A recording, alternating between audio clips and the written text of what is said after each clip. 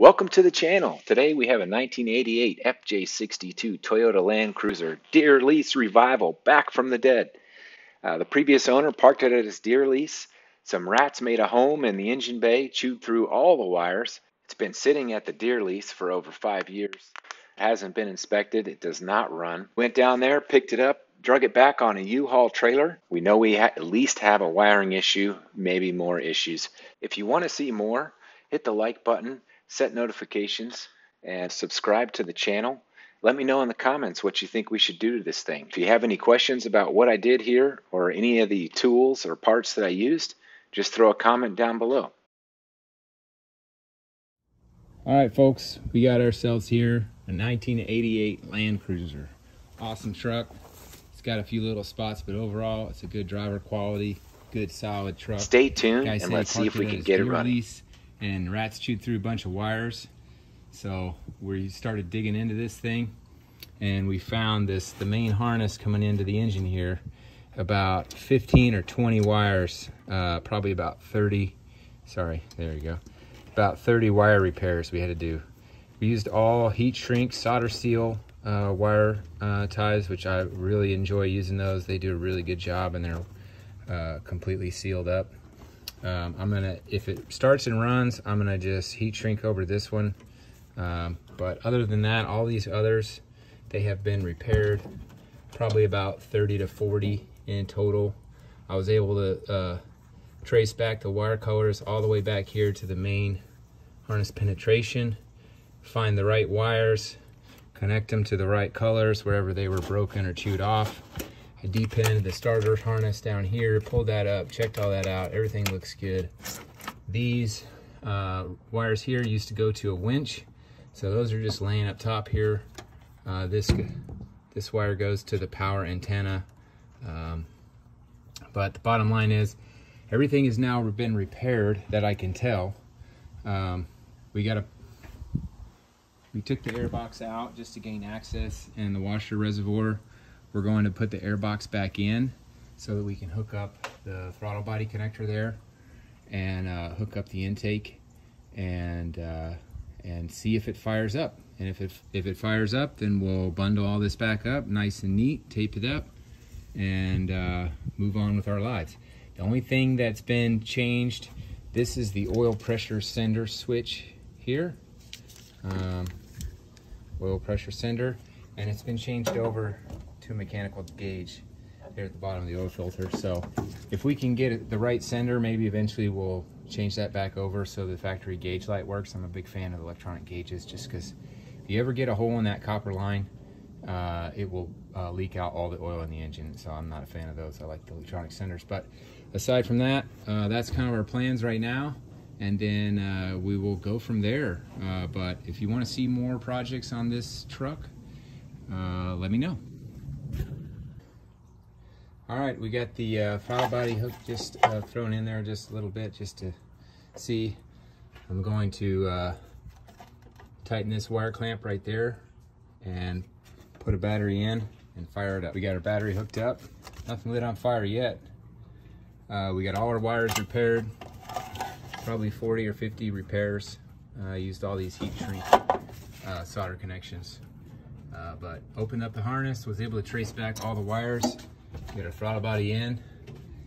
Showing good volts on the battery. This battery's unknown, so I had it on the charger for a little while. But let's see what happens when we crank it up.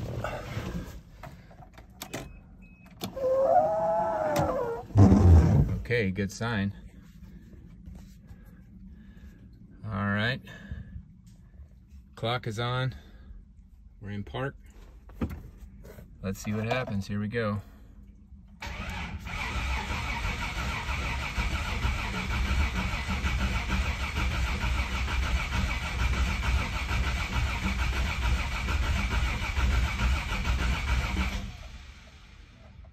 Well, it cranks.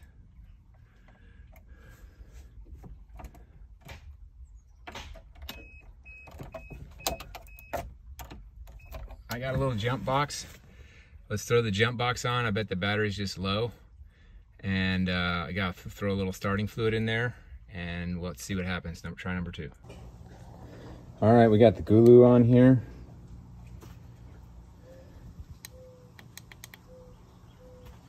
I don't remember how to turn it on, but Gooloo GP4000, awesome little jump box. We're gonna try it again. See what happens. If this doesn't work, we'll see about some starting fluid and do some advanced troubleshooting.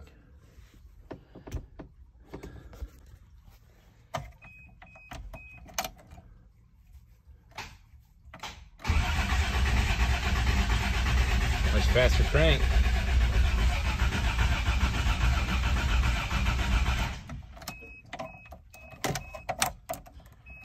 Tach seems to be working. No idea what condition the fuel's in. Try a little, little magic juice here. See what happens.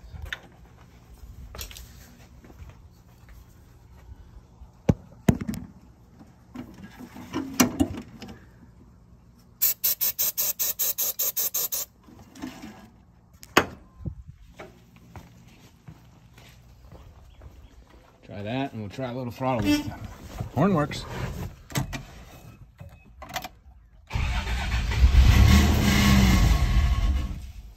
It fired.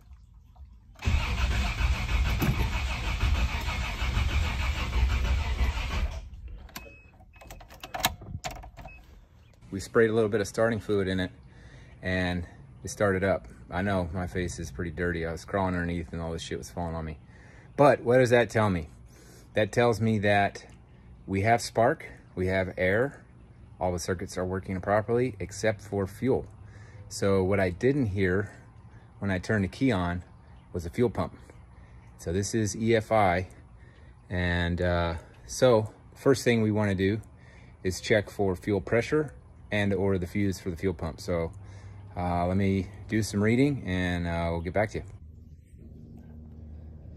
All right, 88 Land Cruiser wire harness repair. Got the multimeter out, we got the fuse panel, and we're just gonna go through here and check, check all the fuses. See, it's hard to do one-handed, but just give me a second here. I'll get it, get these situated like some chopsticks in my hand.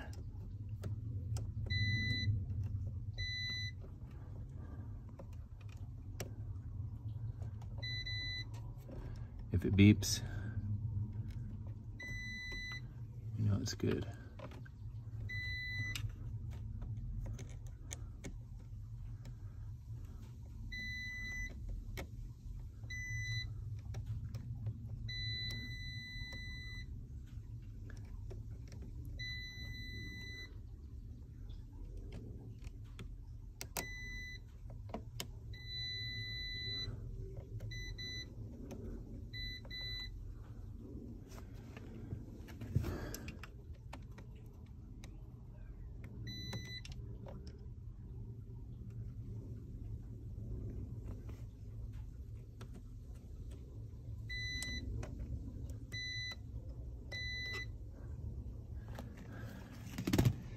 Okay, all the fuses that are there check out good.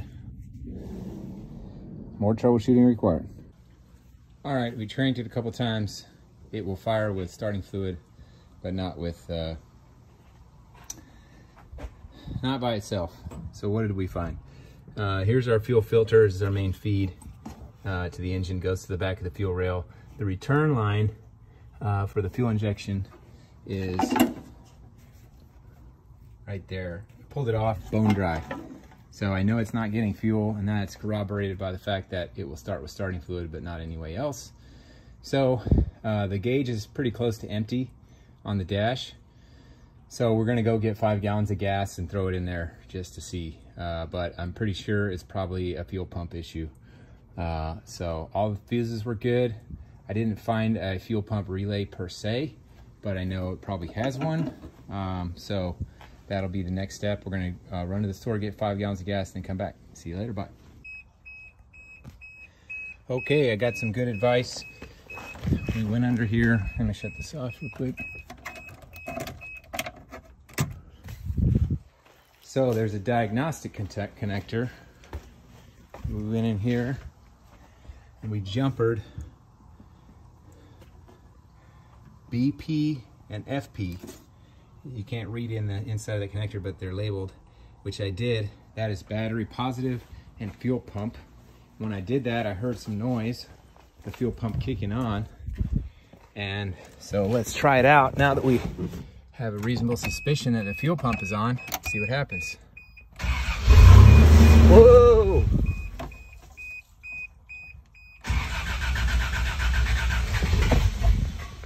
It's trying.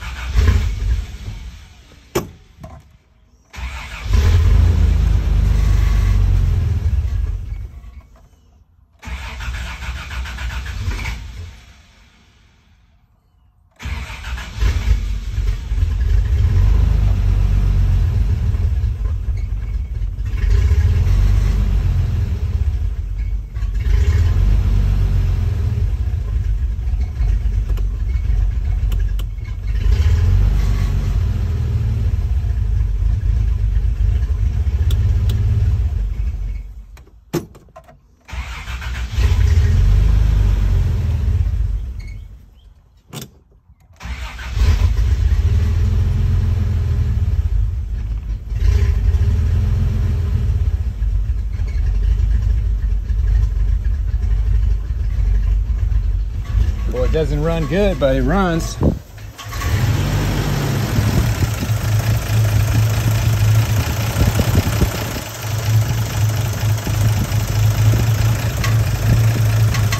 like the fan, fan shroud, something on that fan shroud every now and then.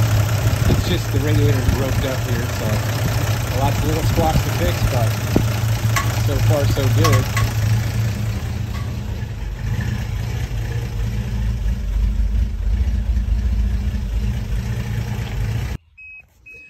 All right, I think we've isolated our problem.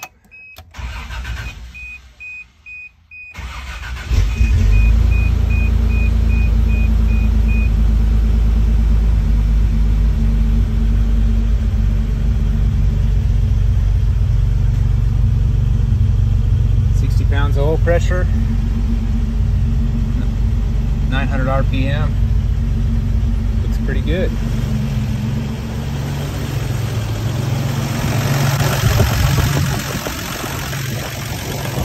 Running pretty smooth now. To be continued.